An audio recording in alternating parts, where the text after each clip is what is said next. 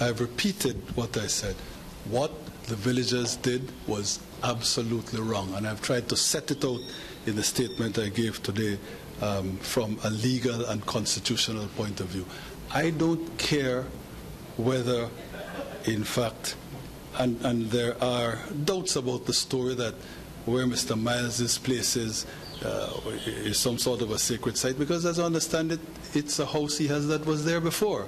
And when uh, the Mayan from whom he got it was living in it, there was not a problem. But grant that the Mayans of the village were correct in wanting Mr. Myles to be dispossessed, to be removed.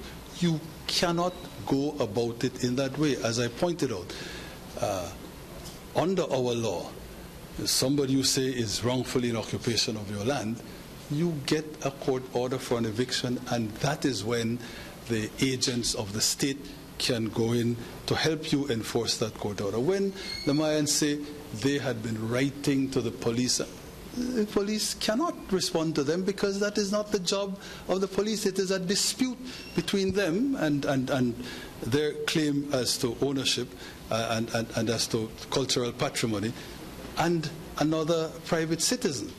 They first needed to get a court order. And that is where the rub is.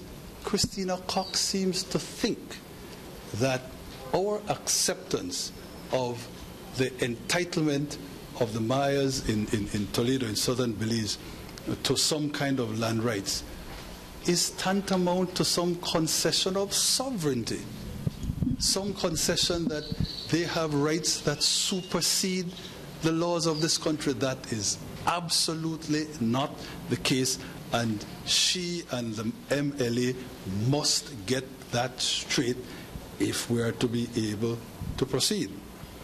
That having been said, I made the point. We have conceded that they have rights, and those rights must be vindicated and must be spelled out, must be defined uh, with some precision. But until that is done, if ever they do what they did again, the same thing will happen.